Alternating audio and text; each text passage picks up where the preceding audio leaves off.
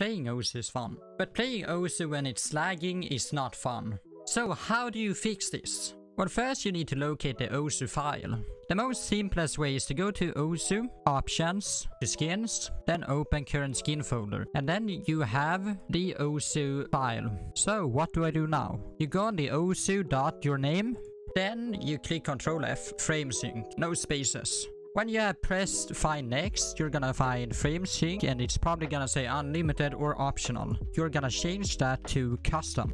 Now you wanna press Ctrl F and search custom frame limit, no spaces and go up.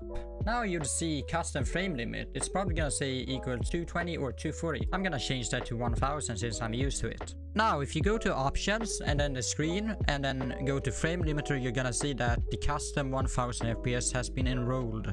Although it doesn't say 1000 in the main menu, it's gonna say 1000 FPS when you play the game. Maybe if you're hard stuck 6 digit or just want to rank up in general, be sure to click this video right here.